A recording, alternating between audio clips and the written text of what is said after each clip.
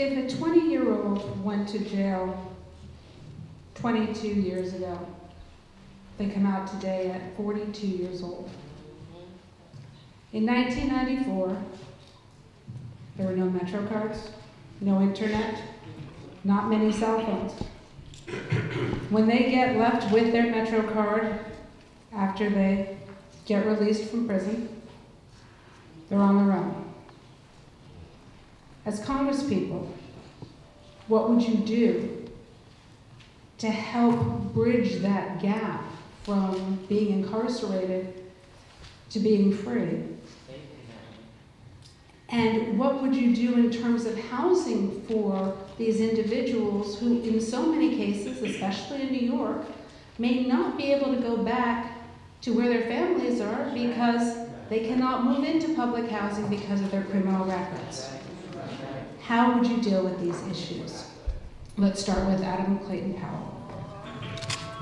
Great. Again, going back to the ban the box movement. For those of you who are not familiar, uh, this consider this is a consideration of the uh, applicants, the job applicants' previous uh, uh, incarceration record, and it, it it puts a stigma on the criminal record of the applicant before they even walk in through the door. Uh, it delays the background checks. Um, it, it, delays the ability to speak to the person uh, later. So I think we need to have that movement reach the federal level and give the person a second chance. Oftentimes these people are branded for life and uh, they have nowhere to go uh, as far as uh, uh housing. NYCHA has very strict rules regarding formerly uh, uh, convicted people. they have to go to these, you know, third, you know, third level housing and, and, homeless shelters, really, unless they have a family member in, in a private apartment. So these are very difficult questions for the federal government to answer, but we have to be creative. Uh, NYCHA, for example, I understand, you know, not allowing a big-time drug dealer back into NYCHA, but they have some extremely strict regulations. And, you know, you have people that are convicted of violations. Violations is not even a crime. Violations are like 240-20, disorderly conduct, public urination, as, as bad as that may be. And NYCHA actually bans people uh, with this a violation, which is not even a crime. So we need to revisit some of these regulations and we need to again give uh, uh, these people a second chance because right now we are branding them for life. They cannot get a job, and, uh, and it creates a vicious cycle for the 65 million who are felony uh, uh, uh, who have felony records, not to speak of the millions others who have misdemeanor records. Assembly Member Linares, how would you deal with reentry and, and, and housing? Uh, last week I, I attended a funeral of a young man, 16 year old, uh, that was killed by another young man in his Harlem. Uh, and he was just coming out of the program that I uh, mentioned to you. He had just been seen by Exodus.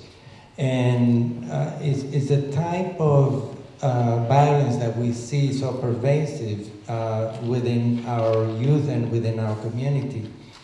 And, um, you know, you, you saw a family in grief, uh, having lost a young one. Uh, I, I, believe that the crisis that we're talking about is so deep rooted and challenging that I think we need to really, if we're going to look at funding coming from the federal level or from the private sector or from the state and city combined, I think this crisis needs to be addressed with all three levels of government. But from the federal level in this uh, particular case, I would uh, look to frame the approach of addressing the challenges that uh, those who are incarcerated, before they land in the community, there has to be a plan there has to be steps taken with them, but I would engage families, I would engage institutions in the neighborhood so that when they come out, they know that they're not alone. And it, it never mind getting a house. How about a job? I think we need to also be able to prepare uh, for the challenges that this population, of all the challenges that we have with individuals, this is probably the most challenging one And I would look for a program that the community have ownership of. No, no one else, but the community should have ownership. And let's bring humanity to this individual. Let's give the support that they need to have from the family and from the community where they're coming back to. Thank you. Um, Mr. Gallagher?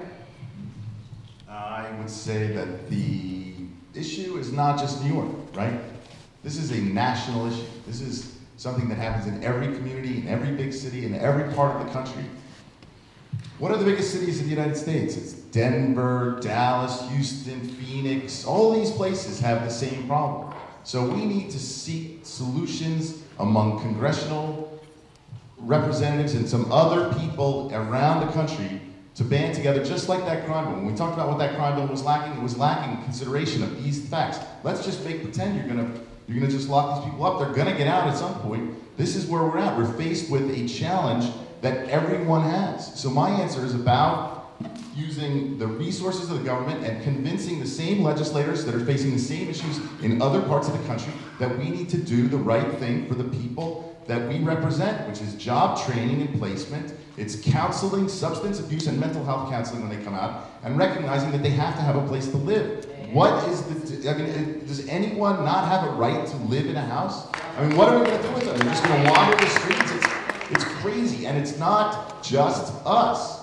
It's everywhere. So that is the, that is the, the, the answer I have for you, which is that we need to seek other representatives around the country recognize these same facts and make the difference happen. And make it happen using the resources of the federal government, which in our case in New York, as I started to say before, we pay a dollar in taxes and get 90 cents maybe. You live in South Carolina, you get a dollar in taxes, you get like six dollars back in services. Some of that's the defense budget, that's a whole other you know, kettle of fish. But we need, New York is the third largest economy in the United States, and we're not getting the federal government to pay its bills to us, and they're due. So I would say that it's, it's about those things. It's trying to craft legislation along the lines of the crime bill, only about post-crime. It's reentry. What, do the, what are we going to do for people? Thank you, Mr. Gallagher. And now we will have Clyde Williams. So what will you do about reentry and about housing for those that are coming back into the communities? Well, I've already done certain things.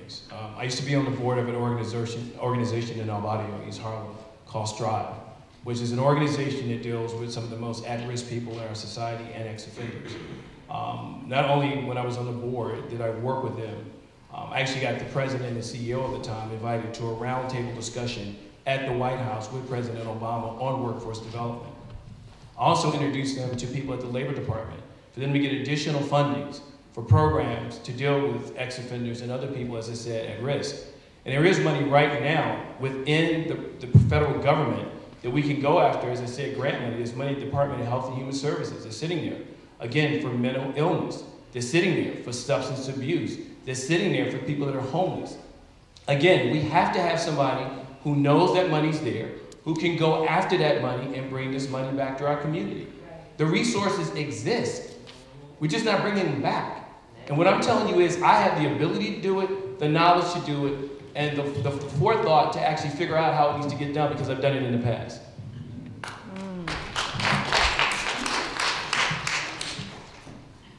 Um, Ambassador Suzan Johnson Cook.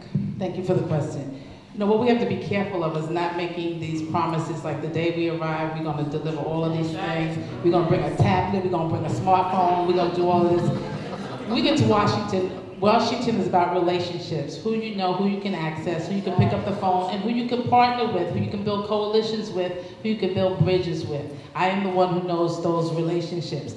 Reentry is already being worked on with the Department of Justice. I was with Loretta, Attorney General Loretta Lynch, and they are actually having like a big brother program so that as men particularly are being released, they are mentored by someone who does counseling, helps them with housing, helps them with reentry into their community, helps them with all the things that they need to be a full-blown citizen. And it's over time. One administration is not going to be able to handle all of the issues. It's going to take several administrations. It's going to take several elections. We only have two years in Congress if we win. But in, ter in terms of it, I've worked with HUD with the faith-based initiatives, and there's housing that can be done partnering with the faith-based community. We should not overlook this wonderful resource of our imams, our clergy, our rabbis who can work together. B'nai B'rith gets grants, the Catholic Church gets grants.